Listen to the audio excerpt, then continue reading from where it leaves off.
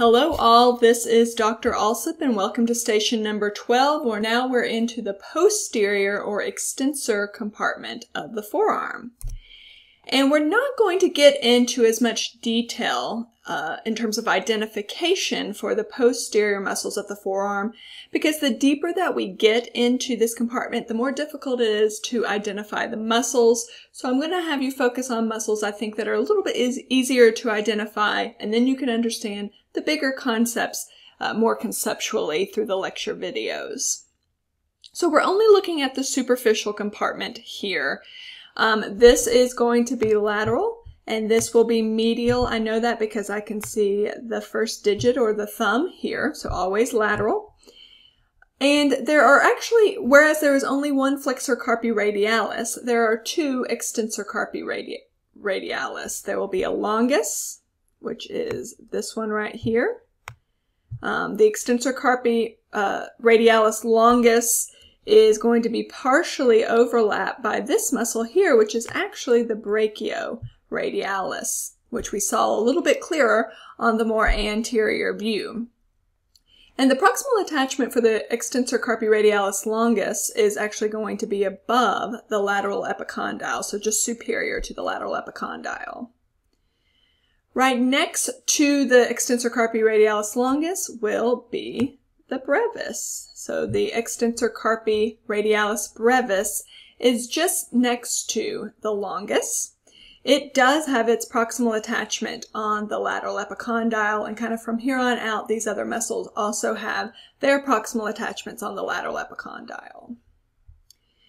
Next to the brevis, kind of in between the brevis and the flexor carpi ulnaris, is going to be the extensor digitorum.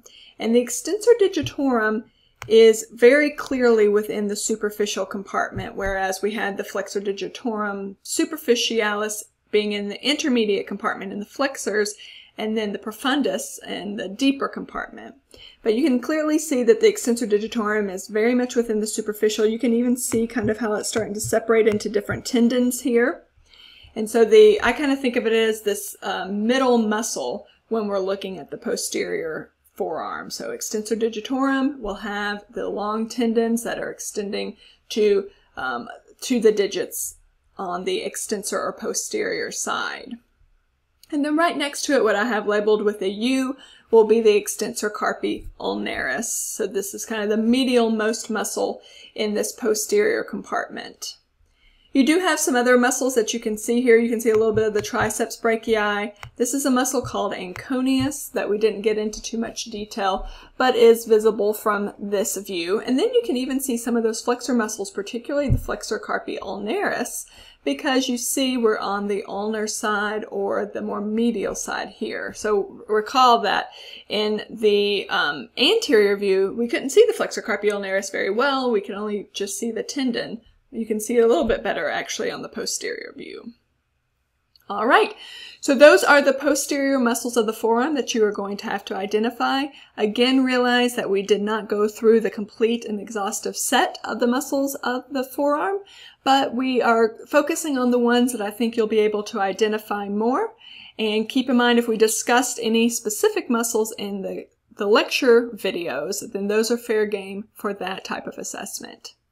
Thanks for your time and attention here. Again, with forearm muscles, they take a little bit longer, I think, in terms of identifying and getting familiar with that. So please feel free to reach out with any uh, questions you may have there. Thanks for your time and attention, and I'll see you at the next station.